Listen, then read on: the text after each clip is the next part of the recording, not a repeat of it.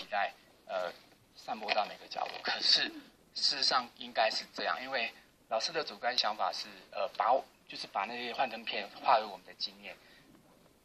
散播出去。那其实因为老师课其实非常的深，植物的生态事实上不是一个单一的一个呃学学科，嗯，呃，所以。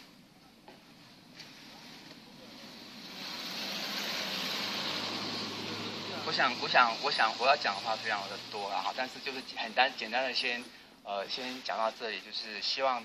嗯，大家有缘在这边，呃，之后后续的呃一些方式，我希望我们这个团队可以，呃，长长久久的延续下去，在不同的角落之外，有一个呃真正的，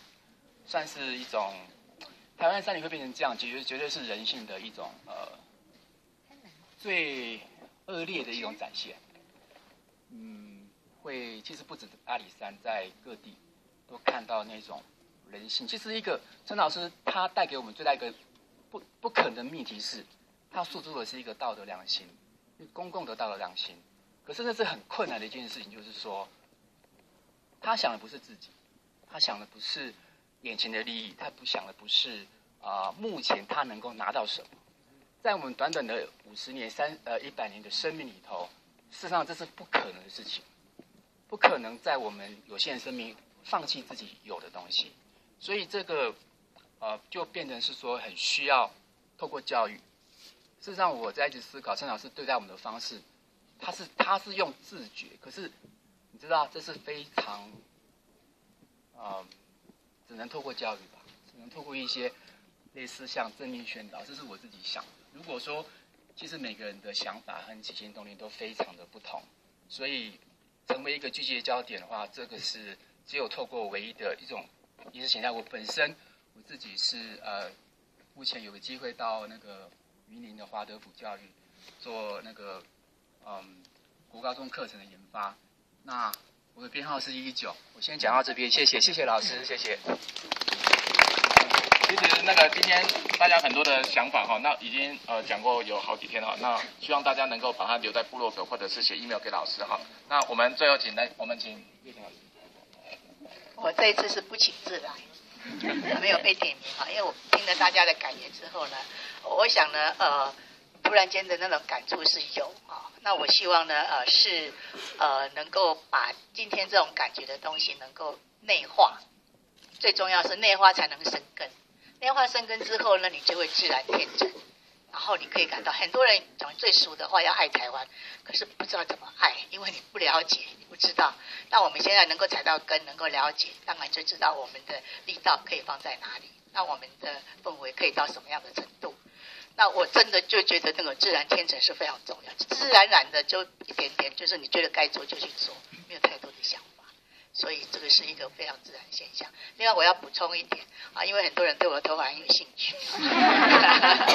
那我要讲就是我头发原来是都不理他，他就是要长要短要断随便他。但是后来呢，他已经呃快到地了，就是到了那个膝盖下面。那在两千零九年我们在去印尼做那个生态调查的时候，我的头发被那个船的左剪进去，所以呢那个时候受伤很严重，头发就剪剪。那个那个时候的我们的那个安呢，就拿着剪刀说要剪下去的，因为不剪没有办法。那个头发整个整整个头皮已经快要掉掉了，然后那个那时候受伤很严重，好，所以那个头发就剪掉。那个时候有剪过，然后之后就随便他一直到现在，好，所以呢曾经有过这样的过程。那我那个时候呢就发，那个医生就跟我一个医生说，十二十个人当中十二个人会死掉。他为什么没有死呢？他说你一定做了做了积了很多的德。那我是不是是不是这样？我不知道，但是我是知道说，刹那间我女儿问我说：“啊，你第一讲到的是谁啊？”那我说那个时候快真的快死掉了，会死。我说我只有想到说我不能死，还有很多事情要做，真的还不能死哈。所以我们要珍惜我们自己，然后大家身体健康，快快乐乐过年，然后呢就是好好享受这些大好大好的山水，然后分享给大家，大家的快乐。谢谢各位。好，其实今天这个场合是要致谢的哈。我们一二三哈，谢谢两位老师哈。我们一二三哈，说我们先谢谢玉峰老师，然后再谢谢啊月霞老师，然后一二三，谢谢玉峰老师，谢谢月霞老师，谢谢志豪了。对，谢谢志豪老师。好，那我们准备拍团战了哈，那请我们的学员就往中间靠拢，然后前面的我们蹲下来，那，我们的布旗，我们布旗拿到中间好了。